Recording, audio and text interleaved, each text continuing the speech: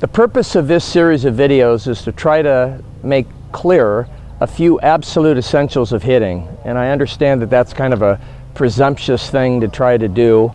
And a lot of people that have coached longer than I have done that. But after 40 years of coaching, there are a few things that I am confident good hitters have in common. Uh, I don't think they're even debatable.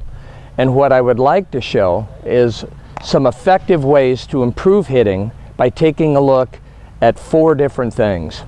And the first is good hitters make good visual inferences. They see the ball well out of the pitcher's hand and they recognize pitches. I don't think that's debatable. A second point is if you're going to hit for average and power, it's advantageous to use the whole field. You're going to be able to use the outside half of the plate and the inside half of the plate.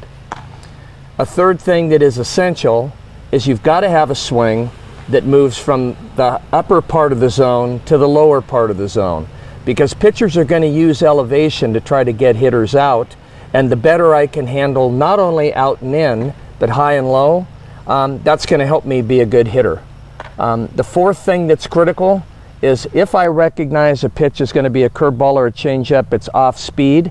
When the pitcher changes speeds on me, do I have a, an approach in place that works that allows me to stay back on a ball when it's off speed and still hit it with a firm swing. Those four things, along with some keys to mental, mental approaches to hitting, are all things that I think would help any hitter, no matter what your hitting philosophy is in terms of how you're going to teach mechanics. And I'd like to show how Jugs products are going to be able to assist in developing a hitter in all these areas.